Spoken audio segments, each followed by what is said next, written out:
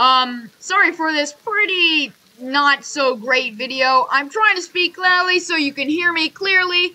Um, so we're just going to look at this final animal, cheetah. It, um, I gave you my favorite and cutest animals off the top of my head, like the pygmy hippo.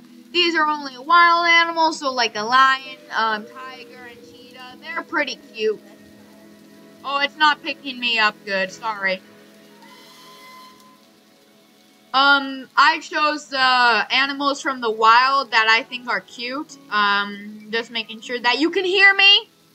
Sorry for speaking slowly and not clearly. I'm trying my best. I'm looking at the mic thing. Um, so have a great day, everybody. Okay, that was pretty fast paced. Um, I'm sorry about that. But actually, have a great day. Um, thank you for watching my videos if you have. Um, I hope this makes your day brighter. And yeah, bye.